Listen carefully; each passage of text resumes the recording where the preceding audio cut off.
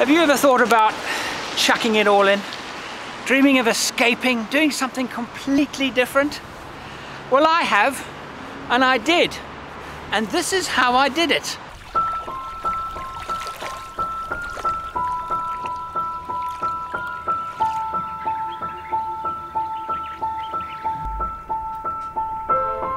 There is a place so tranquil that angels go there to rest. It is a place of such singular beauty, even the lilies dress for dinner. Yet the ebb and flow of its life giving water is determined by a climate a thousand miles away. The water level is high during times of drought and low in times of rain.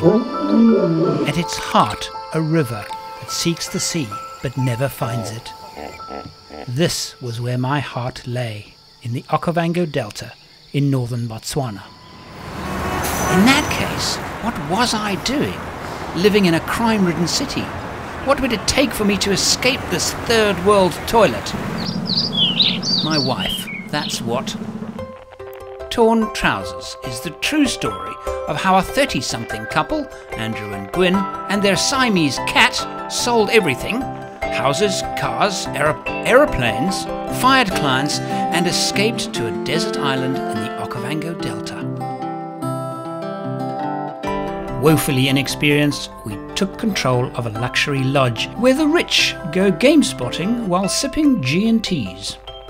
Trouble soon followed.